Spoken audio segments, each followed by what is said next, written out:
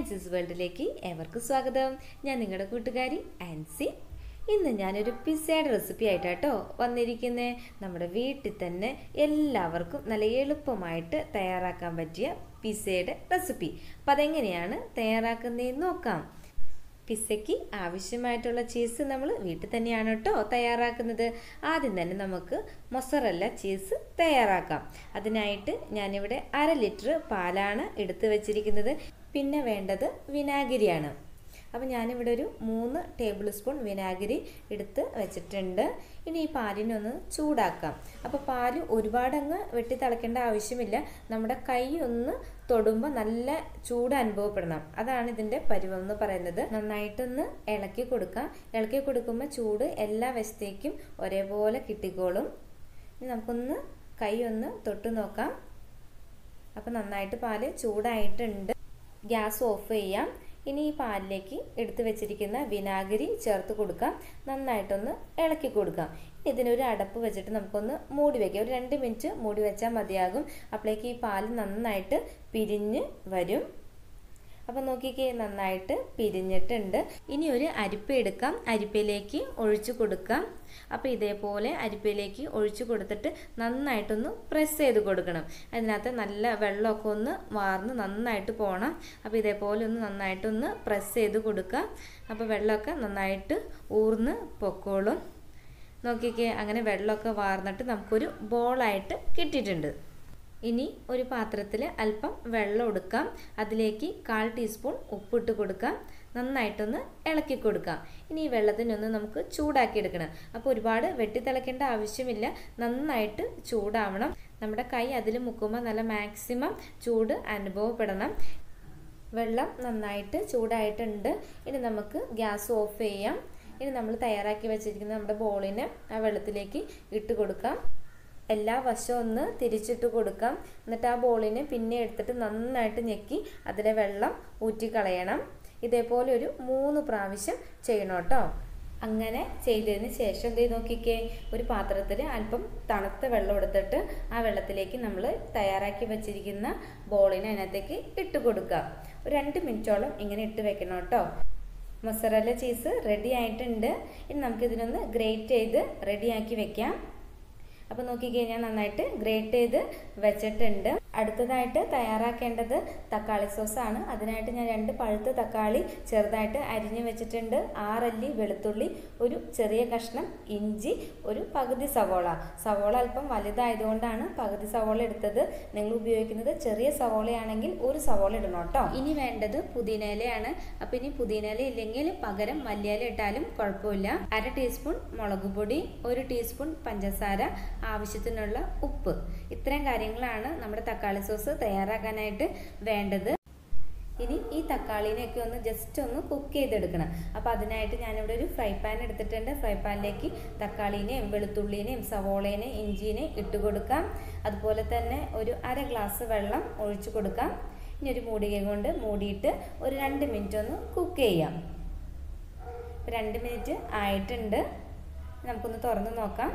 അപ്പം നമ്മുടെ തക്കാളിയൊക്കെ നന്നായിട്ട് കുക്കായിട്ടുണ്ട് ഗ്യാസ് ഓഫ് ചെയ്യാം. ഇനി ഇതൊന്ന് തണുക്കാനായിട്ട് വെക്കാം.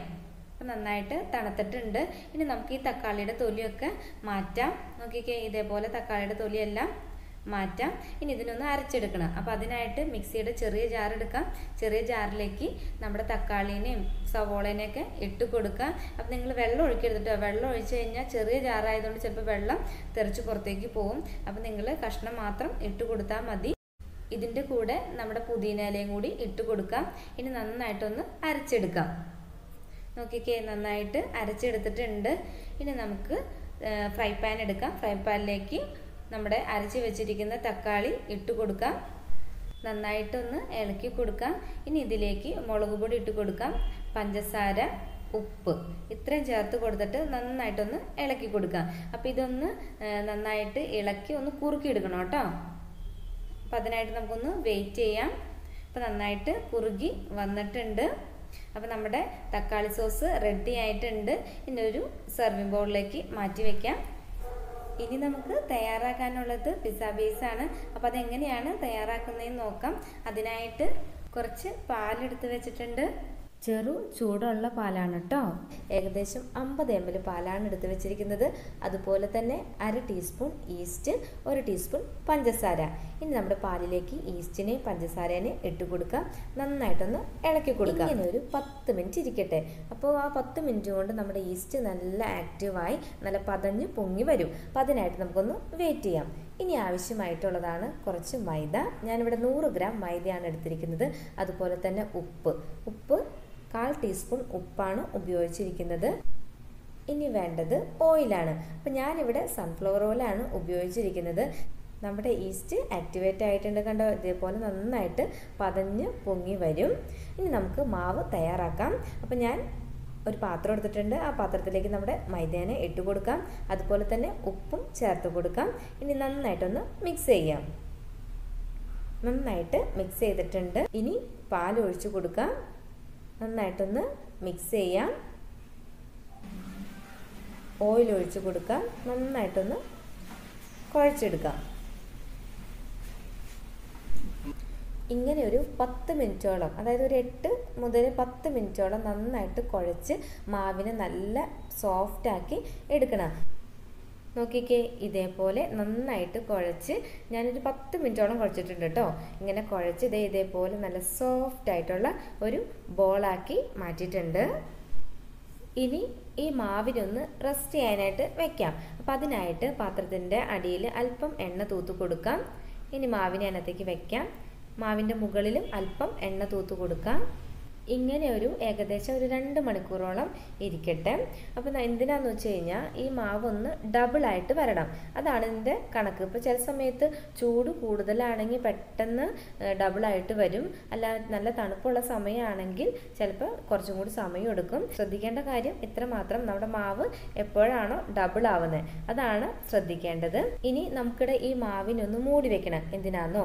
അതായത് ഈ മാവ് ഡ്രൈ ആവാതിരിക്കാൻ വേണ്ടിയിട്ടാണ് നമ്മൾ ഇതിനൊന്ന് കവർ ചെയ്ത് വെക്കണേ. അപ്പോൾ ഞാനിവിടെ ഒരു പ്ലാസ്റ്റിക്കിന്റെ ഷീറ്റാണ് എടുത്തിരിക്കുന്നത്.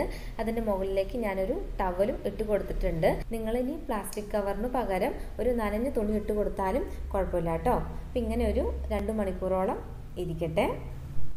ഏകദേശം രണ്ട് മണിക്കൂർ കഴിഞ്ഞിട്ടുണ്ട്. ഇനി നമുക്കൊന്ന് തുറന്ന് നോക്കാം. നോക്കിക്കേ മാവ് നല്ല ഇരട്ടിയായിട്ട് വന്നിട്ടുണ്ട്.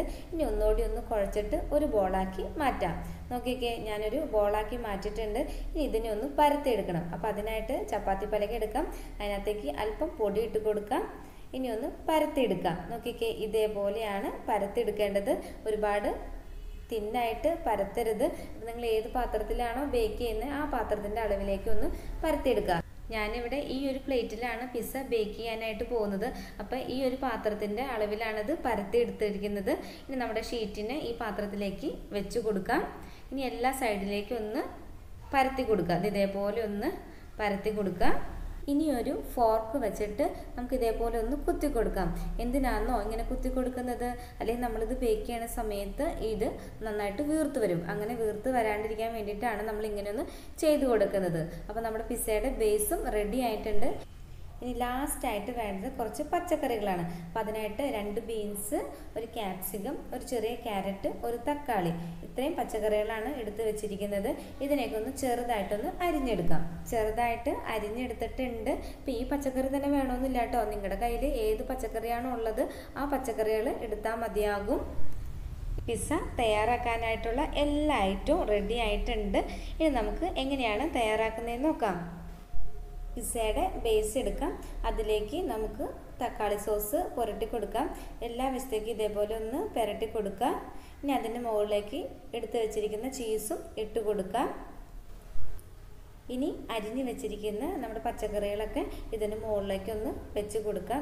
ഇതേപോലെ ഒന്ന് വെച്ച് കൊടുക്കാം. അപ്പോൾ നമ്മുടെ പിസ്സ ബേക്ക് ചെയ്യാനായിട്ട് റെഡി ആയിട്ടുണ്ട്. ഇനി നമുക്കൊന്ന് ബേക്ക് ചെയ്തെടുക്കാം. ഞാനിവിടെ ബേക്ക് ചെയ്യാനായിട്ട് ഉപയോഗിക്കുന്നത് പ്രഷർ കുക്കറാണ് അതിനായിട്ട് കുക്കർ എടുത്ത് വെച്ചിട്ടുണ്ട്. കുക്കറിലേക്ക് ഒരു തട്ടിട്ട് കൊടുക്കാം അപ്പം നിങ്ങളൊരു കാര്യം ശ്രദ്ധിക്കണം. അടപ്പിലുള്ള ഗ്യാസ്കറ്റും അതുപോലെ തന്നെ വിസിലും ഊരി മാറ്റാനായിട്ട് ശ്രദ്ധിക്കണേ. ഇനി ഒരു അഞ്ച് മിനിറ്റ് ഒന്ന് പ്രീഹീറ്റ് ചെയ്യാനായിട്ട് വെക്കാം. അഞ്ച് മിനിറ്റ് ആയിട്ടുണ്ട്. ഇനി നമുക്കൊന്ന് പിസ ഒന്ന് ബേക്ക് ചെയ്തെടുക്കാം. ഏകദേശം പതിനഞ്ച് മുതൽ ഇരുപത് മിനിറ്റിനുള്ളിൽ റെഡി ആവും കേട്ടോ ഇപ്പോൾ ഏകദേശം പതിനഞ്ച് മിനിറ്റ് കഴിഞ്ഞിട്ടുണ്ട്. നോക്കിക്കേ നല്ല ടേസ്റ്റി ആയിട്ടുള്ള ഹോം മെയ്ഡ് പിസ്സ റെഡി ആയിട്ടുണ്ട്. നിങ്ങളിത് വീട്ടിൽ തീർച്ചയായിട്ടും ഒന്ന് ട്രൈ ചെയ്ത് നോക്കണേ. നല്ല ചൂടോടുകൂടി കഴിക്കാം ഇത് അതുപോലെ തന്നെ ഈ ചാനൽ ആദ്യമായിട്ടാണ് കാണുന്നതെങ്കിൽ ഒന്ന് സബ്സ്ക്രൈബ് ചെയ്യണേ. നിങ്ങളിത് വീട്ടിൽ ട്രൈ ചെയ്തിട്ട് അതിന്റെ കമൻസ് താഴെയുള്ള കമന്റ് ബോക്സിലിടാൻ മറക്കരുത് കേട്ടോ വീഡിയോ ഇഷ്ടമായെങ്കിൽ ലൈക്ക് ചെയ്യാനും മറക്കരുത്. ഇനി പുതിയ റെസിപ്പി ആയിട്ട് നമുക്ക് വീണ്ടും കാണാം. Okay bye thanks for watching